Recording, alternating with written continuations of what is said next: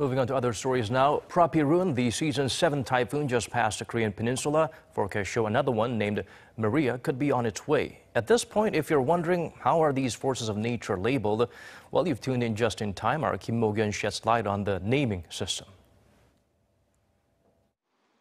Tropical cyclones are named in order to avoid confusion when communicating with the public, as more than one tropical cyclone can exist at the same time.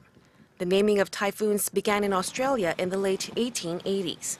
Meteorologists back then named typhoons after political figures. But in 1944, during the Second World War, U.S. military forecasters started to name typhoons after their wives and girlfriends. From the late 1970s, the scope of typhoon names were broadened. Currently in the northwestern Pacific, names are selected sequentially from a list of 140 names submitted by the 14 member states of the ESCAP WMO Typhoon Committee. Once all the names have been used, the committee uses the names again in the same order.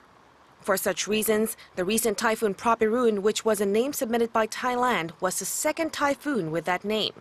The name Prapiroon was first used in 2000. Of the 140 names, South Korea has submitted 10 names including Gaemi, Nari, Jangmi, and Noru, mostly referring to flowers and animals. Now, with the eighth typhoon of the season having been named Maria from the U.S., the next typhoon of the season will be named Son-Thinh from Vietnam, followed by Ampil from Cambodia. Kim Mok-yeon, Arirang News.